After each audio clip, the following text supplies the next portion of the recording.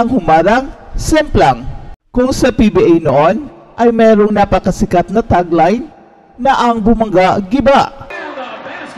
That is the fourth steal of Jim Meltorion laban kay Valdavid. At kay Kai Soto naman ngayon ay pwedeng gamitin natin ay ang humarang semplang. Top, high post kara, Kai Soto, otsute mo ichido, Kai Soto. Ito kasi ang nangyayari ngayon sa Japan B-League na kung saan lahat ng mga nakakatapat ni Kai, especially ang mga American imports na merong mga NBA experience, ay dinaganan lang ni Kai at easy na sa kanya ang double-double except last game na kung saan maaga siyang nagka-foul trouble. Yet he was able to make a difference sa laro both in offense and in defense. Talagang ang humarang ni Kai ay semplang at wala siyang kinatatakutan kahit sino ka pa. Instead, si Kai Soto na ang kinatatakutan ng Japan at hindi na mawawala ang kanyang pangalan kung ang pag-uusapan ay ang Japan B-League. Damang-dama na kasi ng liga ang kanyang presence kahit mga ex-NBA players are in unison sa kanilang paghanga kay Kai. Hindi sila makapaniwala na ang napakagaling na Legend 7-3 player ay nasa Japan pa naglalaro.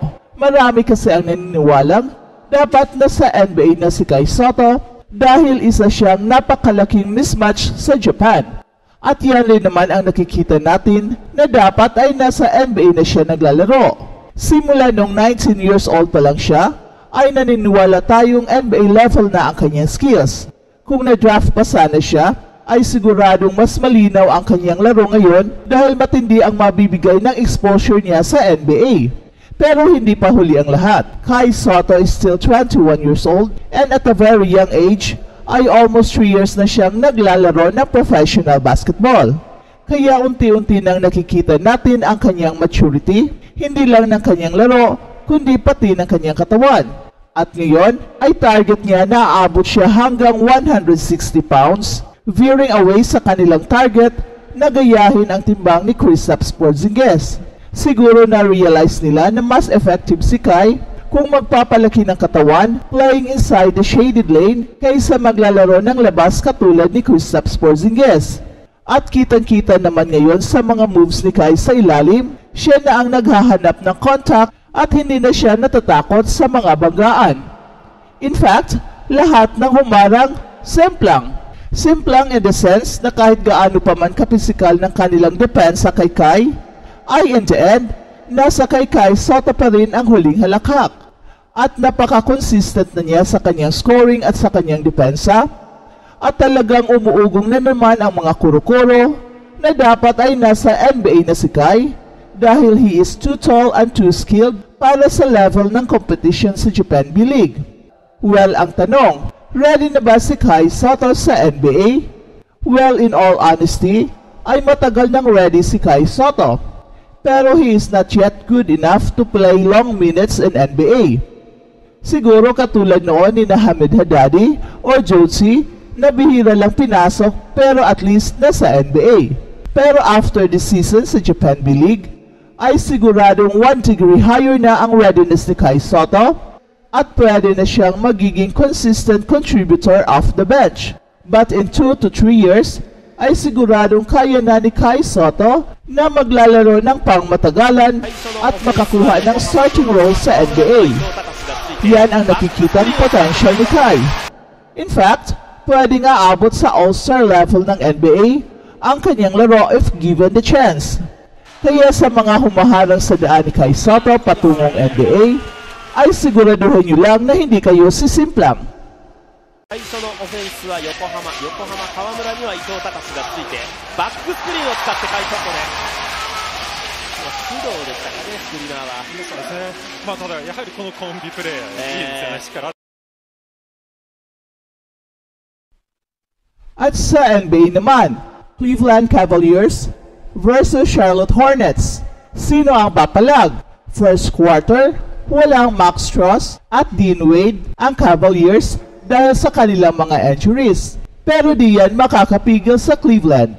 Palitan ng basket dito ang dalawang kupunan. Bawat puntos ng Cavaliers, may panagot agad ito ang Charlotte Hornets. Kaya walang nakaalagwas sa laro dikit ang labanan. At natapos ang first quarter, natabla ang laban 20 points all. Second quarter, sinimula ni Brandon Miller ng isang three-pointer, pero sagot naman itong si Caris Levert attacking to the paint for two. At eto pa, Craig Porter Jr. walang takot sa depensa ng kalaban doing his acrobatic stunts. And what a pass galing kay Brandon Miller para sa isang two-handed jam ni Nick Richards. What a slam! At isang open three-pointer kung sa PBA noon ay merong napakasikat na tagline na ang bumangga giba. At kay Kai Soto naman ngayon ay pwedeng gamitin natin ay ang humarang simplang. Ito kasi ang nangyayari ngayon sa Japan B-League na kung saan lahat ng mga nakakatapat ni Kai, especially ang mga American imports na merong mga NBA experience, ay dinaganan lang ni Kai at easy na sa kanya ang double-double except last game na kung saan maaga siyang nagka-foul trouble. Yet he was able to make a difference sa laro both in offense and in defense. Talagang ang humarang ni Kai ay semplang at wala siyang kinatatakutan kahit sino ka pa.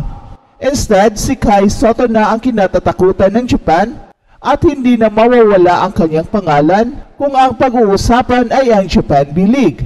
Damang-dama na kasi ng liga ang kanyang presence kahit mga ex-NBA players are in unison sa kanilang paghanga kay Kai. Hindi sila makapaniwala na ang napakagaling na Legend 7-3 player ay nasa Japan pa naglalaro. Marami kasi ang naniniwalang that basketball here early in this third.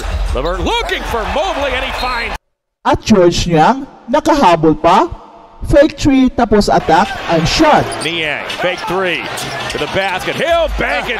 End of the third quarter, 78 to 66, lamang dito ng 12 points ang Cavaliers.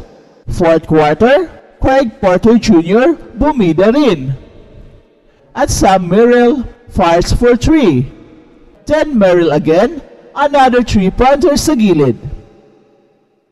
Evan Mobley attacks the rim, turn around, nawala ang depensa dito para sa isang two-handed slam.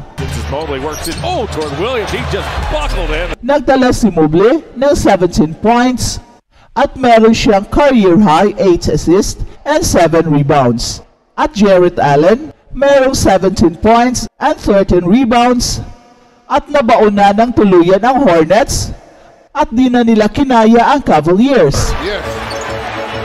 Garland. He down the loose ball and kept it alive. At sa huli, panalo ang Cleveland Cavaliers 115 to 92, The Cavaliers beat the Hornets 115 92. talo ang Charlotte Hornets.